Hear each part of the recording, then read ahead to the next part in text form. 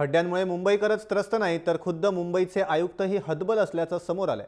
माझ्या आईवडिलांनाच मुंबईच्या रस्त्यांवर फिरवायला न्यायची भीती वाटते अशी हतबलता पालिका आयुक्तांनी बोलून दाखवली आहे. निवडणुकीआधी रस्त्यांची दुरुस्ती करणार असून पुढल्या वर्षी मुंबईतले रस्ते हे खड्डेमुक्त असतील असं आयुक्त अजॉय मेहतांनी सांगितलंय.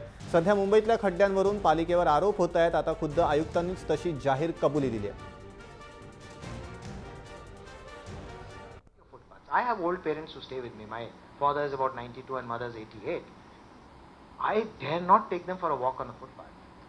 It's scary.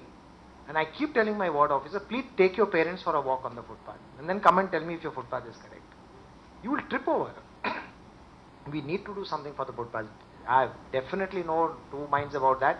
And we are at it, and I suppose we will succeed.